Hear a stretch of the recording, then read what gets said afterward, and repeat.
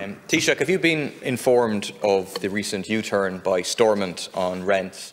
Two weeks ago, People Before Profit in Stormont proposed a 10% rent cut for private tenants right across the north, and it passed. At the time, SDLP, Sinn Féin, Alliance, MLAs all backed this proposal. But since then, they buckled to the landlord's pressure, they did a U-turn, and two days ago, they reversed the decision at Stormont.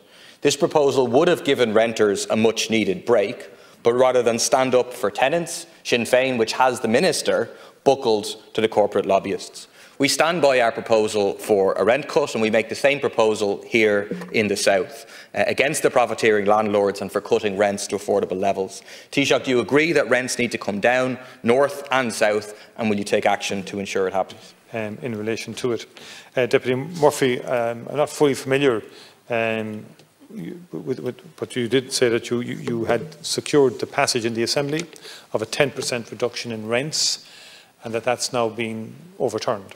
And you're saying that Sinn Féin buckled to the corporate landlords, which is um, some assertion. And um, uh, I don't, you know, I think that is uh, would be a surprise.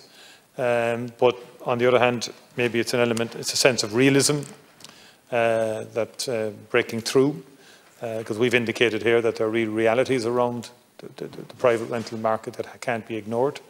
Um, and in, in, Northern Ireland, uh, Sinn Féin ministers tend to have a greater grasp of the realities and the realpolitik of what's possible and what's not possible, as opposed uh, to, to Sinn Féin leadership in opposition in the Republic, who very often would, would put forward ideas that um, their, their, their, colleagues in the North simply can't implement. And I think it does illustrate the fact that objectively one has to be realistic in the proposals that one puts forward. The issue when you call, you know, in, in, in the Republic, landlords are leaving the market right now. Uh, those with one house or two houses are leaving the market. There's been a decline in the number of landlords um, as we speak over the last two years.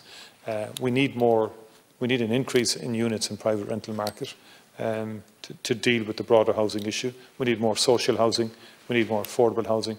We need more cost rental, which I think has great potential, but we have to massively accelerate the, the, the scale uh, and, and, and, the extent um, of that.